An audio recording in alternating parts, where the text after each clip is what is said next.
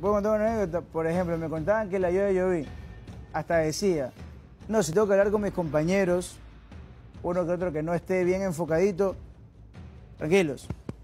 Yo me encargo, yo me encargo, yo voy a hablar, yo voy a hablar, yo voy a hablar. Más de liderazgo. Eh, porque a mí cuando me hablaron de la Yoya, me hablaron de un tipo que viene a ser un líder positivo que falta. Esta palabra, José, sentido de pertenencia. No siempre en el fútbol se encuentran jugadores que tengan sentido de pertenencia. Y la Yoya lo tiene con Mira, Emelec. y yo- Ahora que salga o no salga ya es otra Y no me voy a dejar de, con- no voy a dejar de contar la historia. Eh, yo vi, mientras los compañeros, en su justo derecho, el año pasado estaban festejando con lo que estaban festejando, ganar la Sudamericana, la Yoya diciendo, ¡Ey! Puedo hablar con alguien porque me muero por ir a Melec. Me muero ganando un torneo internacional. Obviamente soy suplente, quería cambiar de rol.